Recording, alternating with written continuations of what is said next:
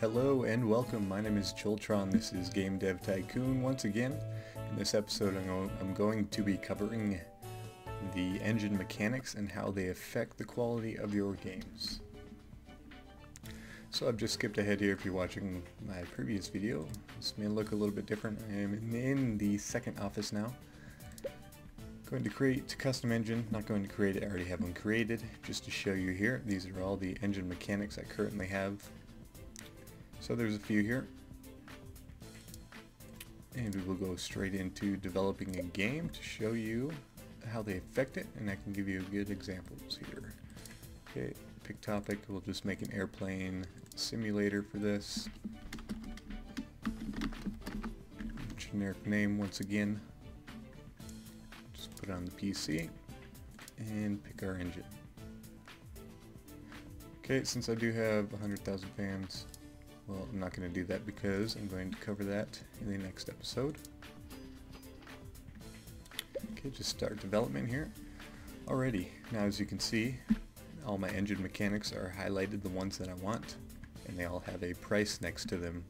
Now this price contributes to the quality of the game. So let's say instead of simple cutscenes, I want to do a linear story. Or See, you can do simple cutscenes or linear story, and they will each give you 10k to stories and quests, and that contributes to your game quality.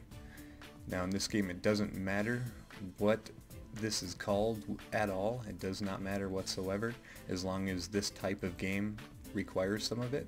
Like for instance, Simulator does not require stories and quests, so we're going to turn that down. We'll even turn off simple cutscenes. We can have a linear storyline, like maybe some a few missions you go fly around on, something like that.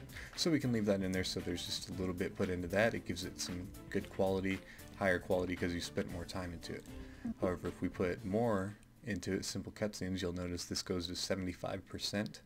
Now you don't want that because that means they don't have enough time in the time allocation here. They don't have enough time to completely do it, so it's going to be very unfinished when it releases and you won't get as high as scores as you could have otherwise.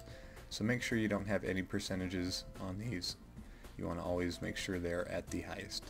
Okay, we're going to turn on mouse just to get more money in there, even though joystick, gamepad, see all that, uh, it doesn't matter what it is. It just simply matters because I'm putting that money into this mechanic. So it's going to add to that mechanic.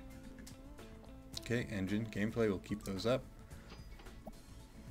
go to the next phase here. That's pretty much about sums it up. I'll go ahead and just finish up this game here. It's real simple as long as you make sure that you don't see make sure you do not have any percentages in there 100% and then once you get on to later games and you have a whole lot more like double the mechanics I have here then you really have to start picking and choosing and figuring out the ones you want and remember like I said it does not matter what it is as long as the price is what matters.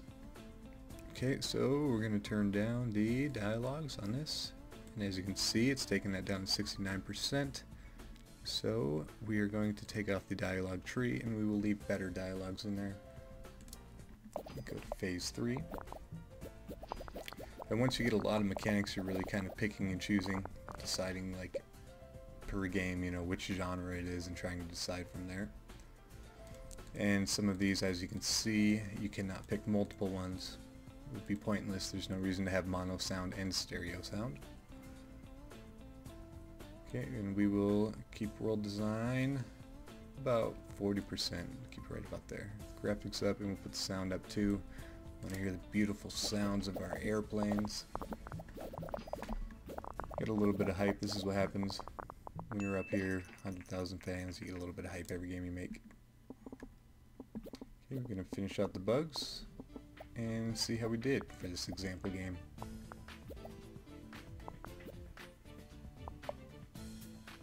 Another bug, iron it out. Oops, finish. And it was a great combo. The thing is I've done this game type so many times it won't matter.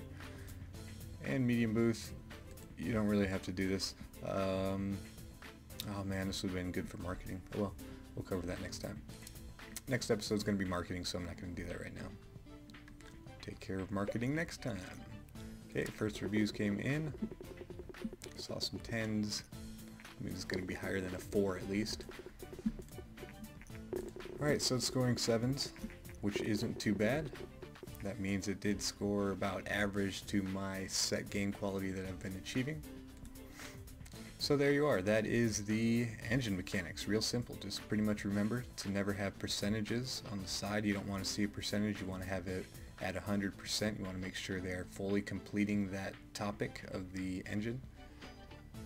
And that's about it. You don't really need to focus on you could throw a mouse on a console instead of a gamepad and it will not affect your score whatsoever.